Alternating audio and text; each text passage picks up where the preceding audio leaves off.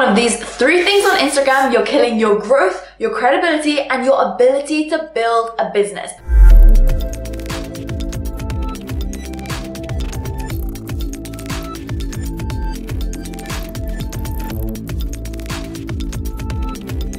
My name is Lauren Tickner and my channel is all about helping you build a personal brand-based online business. So naturally, social media is something which you need to dominate in order to do just that. And I think one of the reasons why people make one of these three huge mistakes is because of vanity metrics. It's because they want more likes, more comments, more follows, but they forget one thing. There are new businesses out there that can see these shady deals, which I didn't even know about until a company called Hype Auditor contacted me. And I used to work at an influencer marketing agency where every single day I would literally be vetting influencers to decide if they were a good fit to work with brands. Because obviously brands only want to work with real and legitimate people who have worked hard in order to build their following. So Hype Auditor contacted me and they asked me, Lauren, we'd love to give you a free trial of our tool for a little bit and then if you like it, would you be able to share it with your audience? And I tried it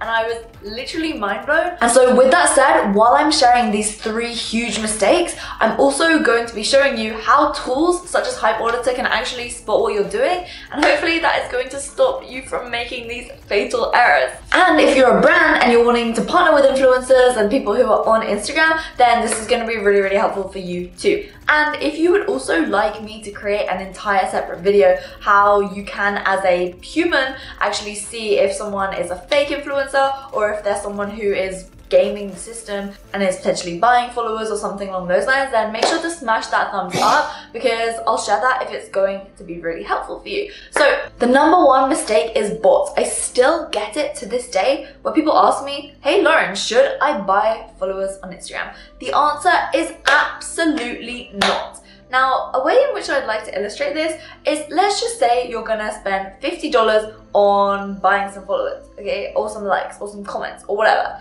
And you're gonna pay this $50 and then be done with it. There's a trade off there. You could either spend your $50 on that to get followers and likes and all that from people who don't even care about what your content is about, or you could spend that $50 on perhaps going towards having someone edit a video that you record nicely or putting it into savings in order to invest in a course that's going to help you actually grow on social media such as impact your social media which is coming soon by the way.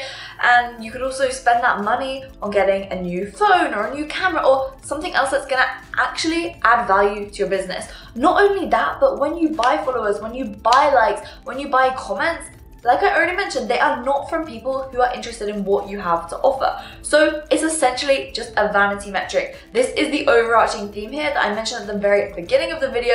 People do these things because of the vanity metrics. But vanity metrics don't increase your credibility from who it actually matters with, okay? So your ideal clients, your ideal followers. And you may be thinking, well, I don't wanna just buy followers, likes and all that. I'm gonna get a bot who automatically comments or who automatically follows and unfollows.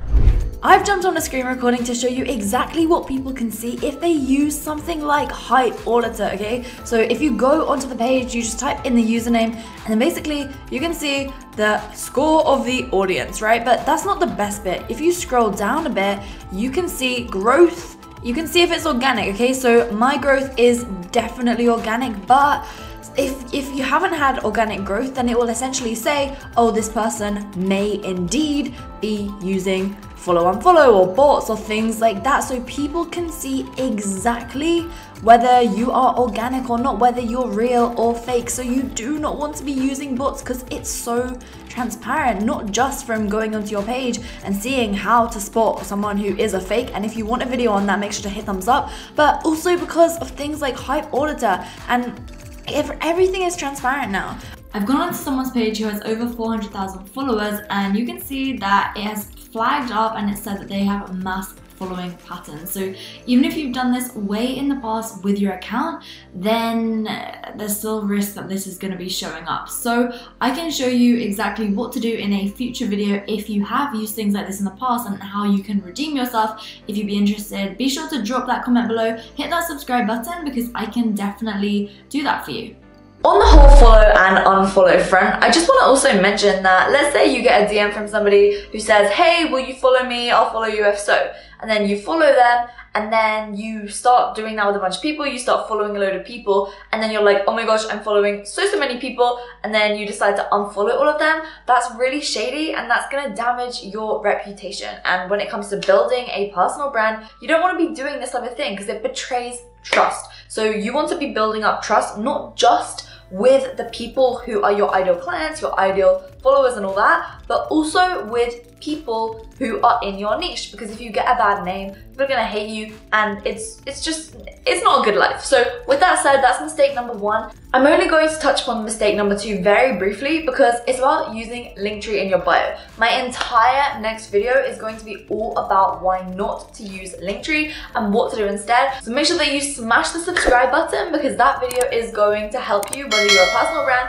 or a business brand in growing on social media so finally mistake number three what is it? Well, mistake number three is engagement groups. Now, Hype Auditor can literally see if your comments are likely coming from an engagement group. Now, here's the thing. Of course, if people are naturally getting a bunch of comments because their audience is super engaged and they really want to comment and they have those raving fans who comment often, and that may get detected by Hype Auditor as coming from an engagement group. For me, that's the case because the Hype Auditor seems to think that I get too many comments on my posts, but I personally believe that that is just because you guys are super engaged and because I always make an active effort to reply to every single comment. So with that said, there are a few other reasons why I don't think that engagement groups are a good idea.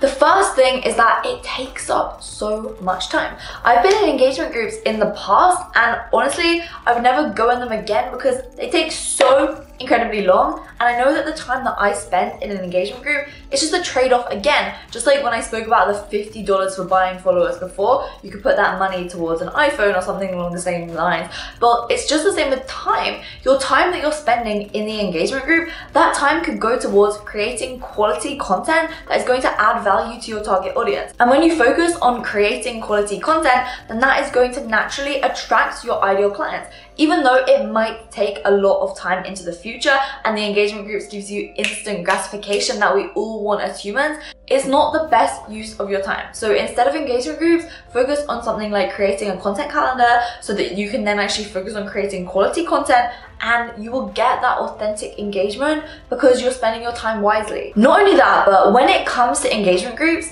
engagement groups or pods, they often are a bunch of people who are all within the same niche. So that means that let's just say you're a fitness coach, then you'll be put into an engagement group with a bunch of other fitness coaches, which means that in your comment section, it's just a load of other fitness coaches, which means that you're likely to keep gaining more followers who are other fitness coaches rather than who are actually needing your fitness coaching help, aka your ideal clients. So this is problematic as well because when you have a bunch of other fitness coaches following you and someone comes onto your page and they see your comment section, it's blindingly obvious because the same people are commenting again and again and again. So let's just say you were a brand or you were another fitness coach who was kind of just like looking at you and seeing what you're doing. Maybe they wanted to invite you on their podcast to see if you're an authentic person. They're just checking out your comment section and they see the same comments from the same people over and over and over again. They may be put off actually inviting you onto their podcast or the brand may be put off actually doing that brand deal with you because the comment has come from the engagement pod and it's blinding, blindingly obvious. So I'm all about helping you grow on social media in an authentic and credible way while also learning how to sell on social media. And in order to facilitate that, I'm actually doing a totally free challenge. It's gonna be the first link in the description box below. And it's because it's spring right now, it's gonna be spring cleaning your socials for success.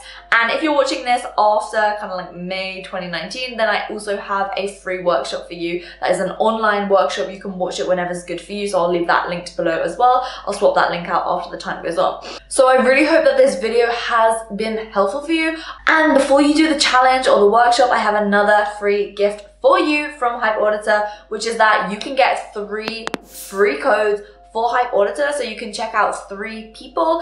All you have to do is go to the pricing page and then scroll the page until you see have a promo code from friend, redeem it. And then in the redeem section, you literally just have to type in Lauren Tickner all in capitals and then click get free credits and then you'll have those free credits. So you can check out firstly your own account. I recommend doing that first for sure. And then two other people who you want to check out and spy on to see if they're up to anything fishy. So this is going to be super helpful if you're a brand. Again if you are someone who wants me to make an entire video on how to manually spot fake influencers then let me know because that could be kind of fun. I don't know it's not normally what i post because i really care about collaboration rather than competition.